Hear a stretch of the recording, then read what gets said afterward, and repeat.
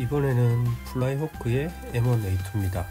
앞선 타미야랑 같이 조립해서 같이 도색을 시작할 생각으로 일단 조립부터 하고 있고요.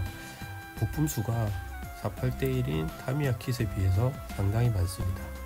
그리고 특이하게 캐터필러가 보통 72대1은 semi connecting식이나 아니면 고무재로 해서 이렇게 달궈서 붙이는 건데 이거는 플라스틱으로 사출되어 있습니다.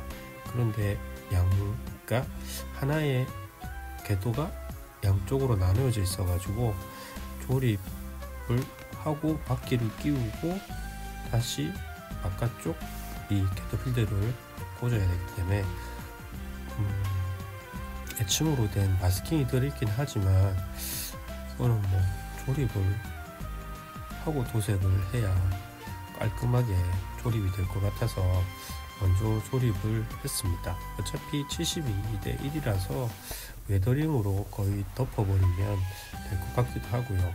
개인적으로 애칭은 상당히 싫어하는데 중간에 작업하다 순간 접착제도 쏟고 해서 치운다고 혼났네요.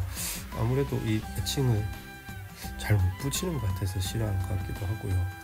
그래도 디테일을 살려줘야 하는 부분이기 때문에 어쩔 수 없이 꼼꼼하게 열심히 잘 붙였습니다. 다음 조립에서 뵙겠습니다.